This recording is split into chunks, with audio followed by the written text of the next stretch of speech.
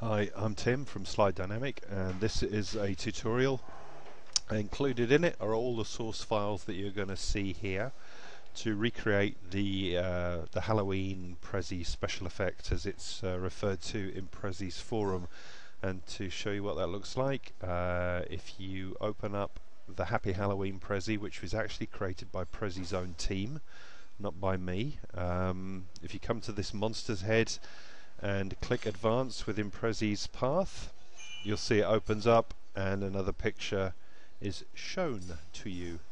Uh, if I manually go in you'll see that this is keenly tied to uh, to the to the zoom function. And that's why it works when you uh, progress through Prezi's path. So that's what we're going to recreate. So I will close that down and uh, and just show you the files we're going to be working with. Um, Included in this YouTube video in the description is the link to download these or if you're watching it on our website you'll find a link directly below the embedded video. And there are four folders and each of these folders is relevant and I'll explain why as we uh, as we progress through this. Um, I might add that this is really aimed at people with little or no Flash authoring skills. Um, if you're a Flash user, uh, advanced Flash user, or a developer, then you can bypass all of this. It is just not relevant to you. If you are a completely new user to Flash, then once you have these, you should probably find a couple of tutorials on the very basic functions of uh, of creating Flash within um, Flash Adobe CS 5.5, which is the tool we're going to be using. But just to put this in context, um, one of the four folders here is Published Prezi. If I just go in, it's uh, it's the Prezi I've created and published out, so that I can show you what's actually happening. Um, I'm going to run this on a PC, but obviously you could run it on a Mac. It works on both. Um, let me just open this file for a moment. So this is the file we're going to be working with, and this is what we're going to recreate. And it is a reveal on path zoom. So um, just to put that into context, there are two things we're going to be working with. One is events and second is listeners. So in Flash, and you're probably a fay with this if you've ever you know used a flash button on a website, but um, within this flash button there is uh, there is a, a, listener, and the listener is looking and listening for an event, and the event is me mousing over it, and it action from that event is to change color. Um, there is another listener that if I uh, perform an event like click it, it will open a new website. So these are the two functions we're going to be uh, be using within Flash, but instead of uh, the event being me mousing over in this fact, the event we're going to be listening for within the Flash file is Prezi zooming to the next path point. And what that looks like is this. Here's the flash file we're going to be working with. It's called Peekaboo and it's yellow just because it shows up on orange background. And if I advance to the next path point, you'll see it opens up and reveals something. If I mouse out, it closes. And obviously I can uh, I can sort of go in and go out to sort of uh, address the point. If I just go and just again explain how we've come about this, um, sometimes Prezi throws up errors uh, if you're a Flash developer, you can look at these errors, and what it's actually doing is exposing some of Prezi's events, which you can then listen for in your action script to perform a reaction to. Again, Prezi does not publish these out. Um, this came about as as an error. Um, so just to just before I get arrested by the Prezi police for hacking their code. right, so let's close that down for a moment. Um, and let's go and have a look at how this works. So, as I mentioned, you need um, Flash's authoring tool, which is called Adobe Flash CS 5.5. Uh, if you haven't got it, you can go and buy it, and if you cannot afford it, you can download a free version for 30 days, which is unrestricted from their website. So let me double click on that and open it up. So as I said, this is really for people who probably are just beginning to use Flash um, and is is not really applicable to you know the more advanced user. Um, also, this is just a basic run through. This is just the highlights. I'm not going to show you how this was created. I'll do that in a separate tutorial. This just gets you up and running really quickly if you want to use it.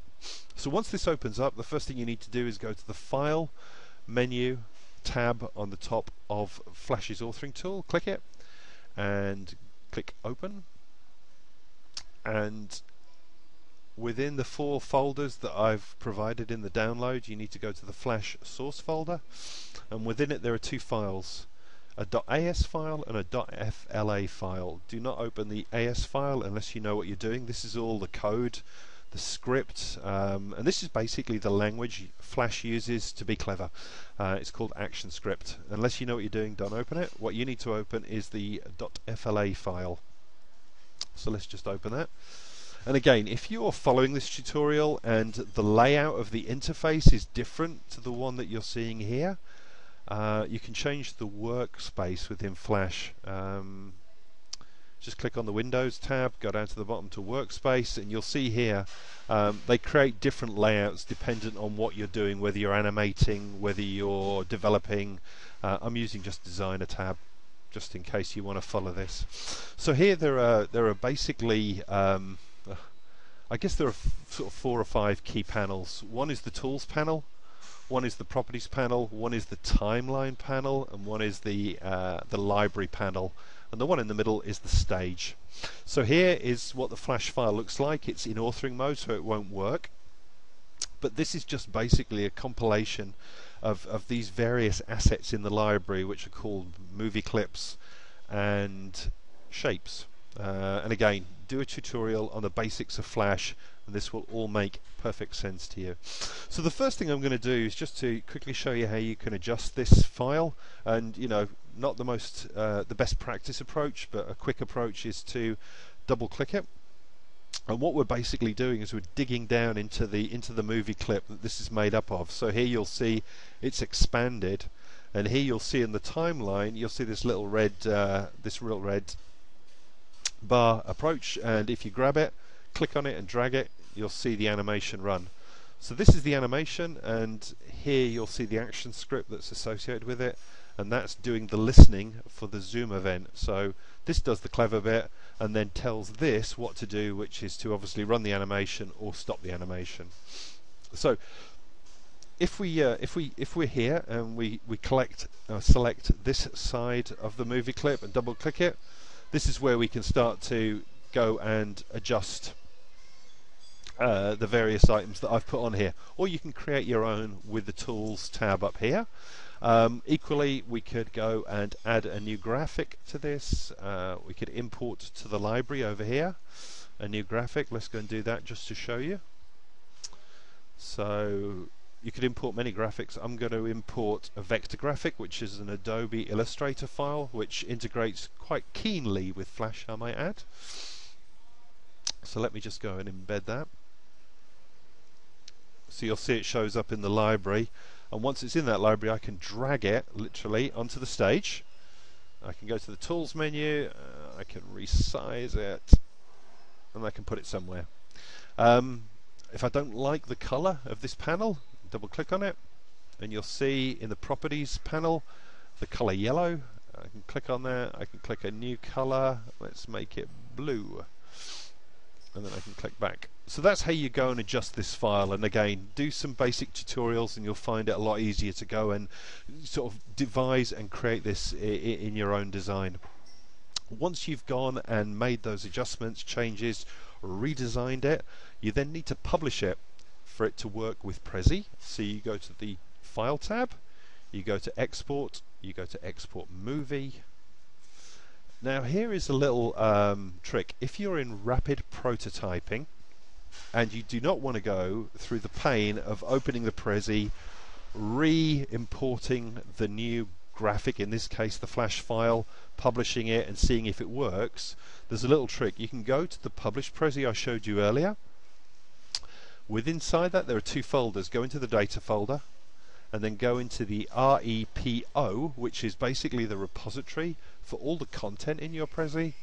If you double click on it you'll actually see the flash file we're using within the Prezi. If you click it once and click save and click overwrite it actually overwrites the one I've just created with the one that's actually in Prezi without reauthoring Prezi. So now if I rerun Prezi as I did before and I click through and I made some rambling statements about flash events and actions, here you'll see the new file I've created without actually having to reauthor Prezi. And if I go to the next path point, you'll see it open up. Voila. Okay. So finally, before I finish off, because I'm sure you've heard enough of me talking, if I go into the actual Prezi file I created, this just explains how it works. So I've got some text, I've got some more text, I've got the button, and I've actually got the flash file which I embedded using the insert file. So if I just go to the path um, section for a moment, you'll see here I added the path points for uh, the text and the button. And here you'll see I added two more hidden frames. One that shows the whole peekaboo graphic, and secondly another hidden frame that's imposed upon that that shows the area I wish to zoom to. So here you can play around with this, make changes and see the effect it actually has in the finished design. This and all the files that I have shown in this overview are contained in the download. So hopefully that provides some overview. It is just the highlights. It is not a detailed way to construct it. I will do a separate um, tutorial for that but hopefully it sets you off on the path. And as I say if you're new to Flash I would highly recommend doing some very basic tutorials on how to create content how to manage content how to create movie clips. And as I say if you're a Flash developer or an advanced Flash user look for the error files in the Prezi forum and you can sometimes leverage those to, to sort of perform more integrated actions with Flash content. Anyway, that's it. I hope you found it useful. All the files you can download in the attached links. Thanks very much for listening. Bye.